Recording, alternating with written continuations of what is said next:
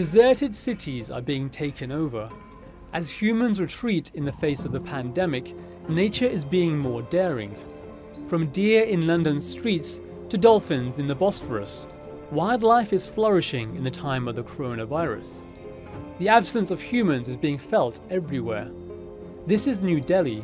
The Indian capital is notorious for its smog, but now that pollution has all but disappeared. Such scenes reveal the impact of human activity on the environment. Some researchers believe it's our disregard for nature that's led to the rise of COVID 19.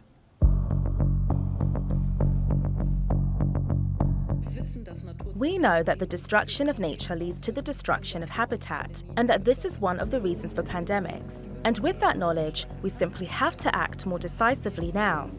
We have already laid this out in the first report of the World Biodiversity Council. But now is a real wake up call to do more if we want to avoid pandemics in the future. In what ways has human behavior made pandemics more likely? Deforestation, overfishing, industrial farming. Environmentalists say it's these kinds of destructive activities that are making it easier for viruses to jump from animals to humans.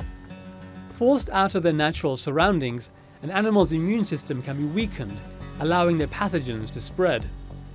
And as they flee to find new homes, they bring diseases with them. The result is this two thirds of all infectious diseases in humans have their origins in animals. Another way is by killing predators, allowing their prey, such as rats, to multiply and further spread their viruses. Activists say climate change and its impact on biodiversity can also increase the risk of an outbreak.